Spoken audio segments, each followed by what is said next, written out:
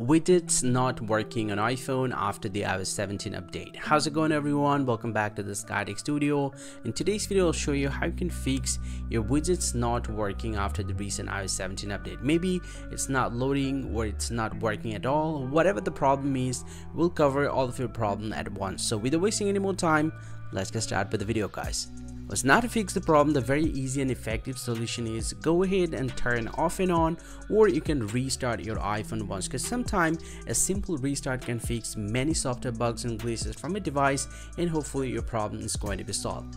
And let's you did this process but you're still having the same problem then the very next thing that you have to do simply go ahead and launch the settings app on your iPhone and then scroll down tap on general and then scroll down again and tap on iPhone storage and make sure that you have some free storage that your widgets can load on the home screen. Because if you have the less storage on your iphone that you can have this kind of issues so be sure that you have some free storage on your iphone and once you make sure just get back from here and then tap on background app refresh and then go and tap on background app refresh again and make sure that you have selected to this option Wi-Fi and cellular data. Now once you're done, just get back from here, then check your issue. And after doing this process, if you found that you're still having the problem, then the very next thing that you have to do, simply go ahead and remove the widgets from your home screen. Just go ahead and press and hold that one and then tap on remove widgets and tap on remove and once it gets removed to go ahead and press and hold any empty area on your iPhone home screen.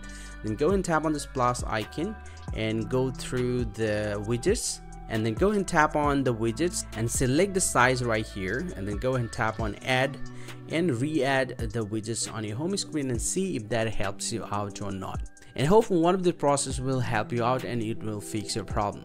But let's say you did all this process but you're still having the same problem then the last and final method to fix the problem is all you have to do is simply go ahead and open up the settings once again from your device and then scroll down tap on general and this time go ahead and tap on software update. And if you found any pending update available go ahead and update your iphone as soon as possible. But if you don't find an update just get back from here and then scroll down and tap on transfer reset iphone.